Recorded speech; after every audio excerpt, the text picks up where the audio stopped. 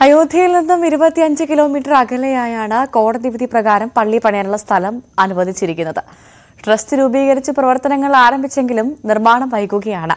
എത്രയും പെട്ടെന്ന് നിർമ്മാണം ആരംഭിക്കുമെന്നും മക്ക ഇമാം ശിലാസ്ഥാപനം നിർവഹിക്കുമെന്നും മസ്ജിദ് വികസന സമിതി അറിയിച്ചു.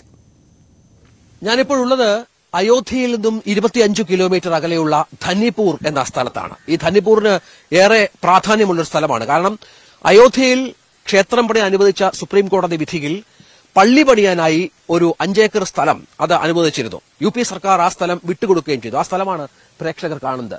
അയോധ്യയിൽ വലിയ ആഘോഷത്തോടെ രാമക്ഷേത്ര നിർമ്മാണം അത് പൂർത്തീകരണത്തിലേക്ക് അടുക്കുമ്പോഴും പ്രതിഷ്ഠയിലേക്ക് അടുക്കുമ്പോഴും ഇവിടെ നിർമ്മാണത്തിനുള്ള ഒരു സംവിധാനവും ഒരുങ്ങിയിട്ടില്ല എന്നുള്ളതാണ് ഏറ്റവും പ്രധാനപ്പെട്ട കാര്യം.